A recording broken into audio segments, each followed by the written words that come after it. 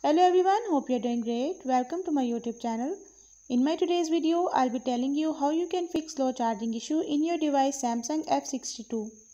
So if you're facing slow charging issue in your device Samsung F62, you can fix it by following a few steps which I'll be sharing with you in my today's video. But before that, don't forget to hit the red subscribe button and the bell icon so you are the first one to know when I upload anything new. Now watch this video and you will learn how you can enable fast charging in your device.